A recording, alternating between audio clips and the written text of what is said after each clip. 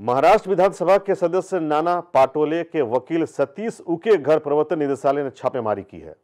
करीब सुबह पाँच बजे से चल रही छापेमारी कुछ महत्वपूर्ण चीज़ें ईडी ने अपने कब्जे में लिया। ईडी ने वकील सतीश को अपने कब्जे में लिया और सूत्रों के बता दें तो ईडी को एक बड़ी कामयाबी मिली है।